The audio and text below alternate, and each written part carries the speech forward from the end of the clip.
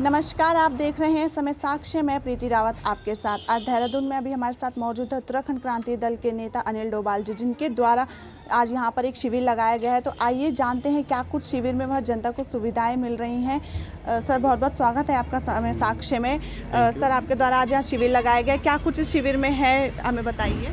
इस शिविर में मुख्य तौर पर यहाँ पर आधार कार्ड में जो करेक्शन होने आधार कार्ड में करेक्शन होने और विधवा पेंशन बुज़ुर्ग पेंशन और आपका ये पैन कार्ड वगैरह और तमाम चीज़ें बोर्ड में लिखी हुई हैं आप उसमें देख सकते हैं। ये सब सुविधाएँ हम जनता को आज दे रहे हैं यहाँ पर। और जनता सुबह से ही बढ़ चढ़ कर इसमें हिस्सा ले रही है। सुबह से हमें भीड़ है अभी भी आप देख रहे हैं काफ़ी इसमें पब्लिक का काफ़ी मतलब यहाँ पे अभी आमद है।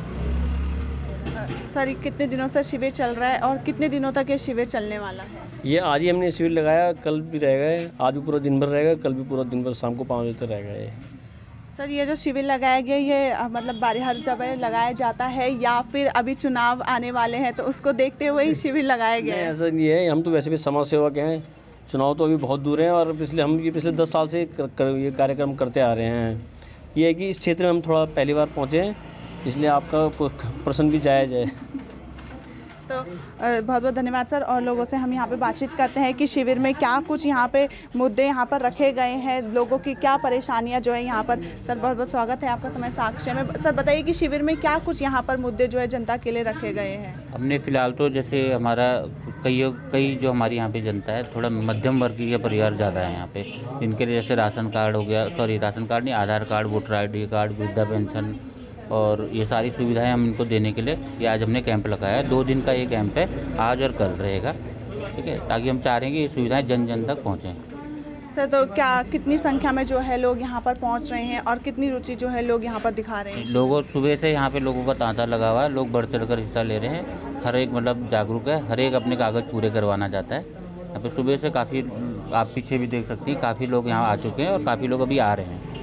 जी, बिल्कुल हम यहाँ आगे देखेंगे कि कितने लोग जो हैं यहाँ पर अपने जो कागजातों में नाम सही करवाने के लिए यहाँ पहुँचे हैं। आप देख सकते हैं कि यहाँ पर जो है लोगों की काफ़ी भीड़ हमें दिख रही है। लोग जो है अपने प्रमाण पत्र से लेकर वोटर आईडी कार्ड में जहाँ उनके काम, नाम गलत है, उनके पते गलत हैं, उनको देखते हुए, उनको सही कराने के लिए जो है लोग यहाँ पर पहुँच हैं।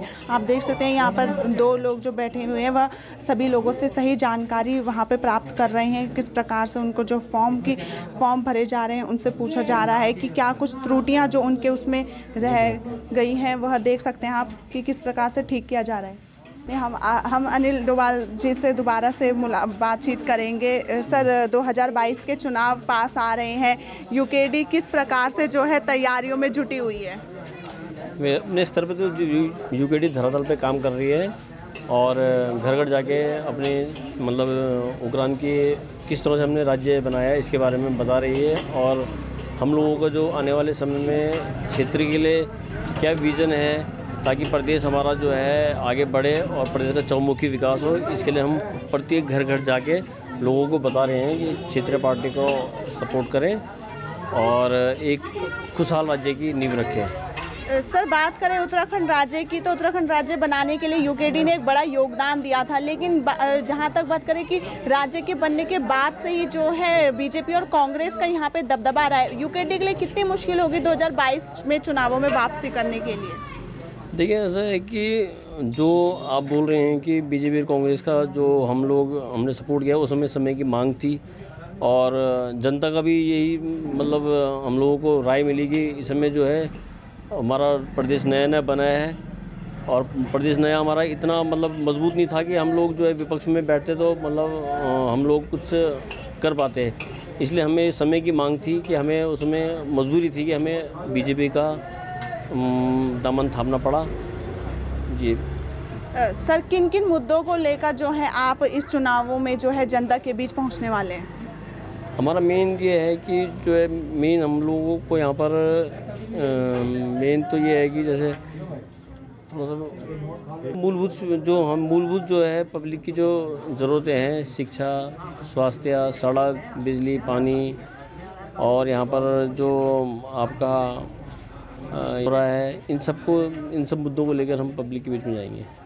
सर तो कितनी चुनौतियाँ आपको लगती है कि सॉरी सर, कितनी चुनौती आपको लगती है अन्य पार्टी राजनीतिक दलों से जो अपनी जीत को एक तय मानकर चल रही है? तो यूकेडी के लिए कितना मुश्किल है इन पार्टियों से मुकाबला करना? देखो, इस बार तो पब्लिक का बहुत अच्छा पार्टी के प्रति रुझान है। हम जहाँ जहाँ भी जा रहे हैं, सब जगह से पब्लिक का जो है, बहुत सपोर्ट है, बहुत समर्थन है। इस बार मुझे नहीं लगता कि हमें मतलब बहुत बड़ा चुनौती का सामना करना पड़ेगा। बहुत मतलब हमारा पहाड़ों में भी बहुत अच्छा इसमें प्रचार प्रसार चल रहा है और हम लोग जो है धरातल से जुड़े हुए हैं धरातल पे काम कर रहे हैं इसलिए पब्लिक का बहुत प्यार मिल रहा है युवा साथियों का बहुत साथ मिल रहा है मातृशक्ति का बहुत प्रेम मिल रहा है। इसलिए इस बार जो है मुझे नहीं लगता कि हमें इतनी बड़ी चुनौतियों का जैसे हमें पिछली बार सामना करना पड़ा इस बार बहुत अच्छा हमारा चुनाव रहेगा। जी। सर 2022 के चुनावों के लिए जनता को क्या आप संदेश देना चाहेंगे?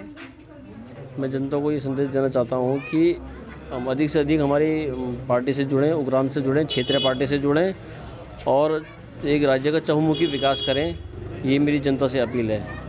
सर बहुत बहुत धन्यवाद आपका समय साक्ष्य में समय देने के लिए। तो यह थे हमारे साथ यूकेडी नेता अनिल डोभाल जिनका कहना है कि राज्य के चहुमुखी विकास के लिए जो है ज़्यादा से ज़्यादा जनता जो है उत्तराखंड क्रांति दल से जुड़े।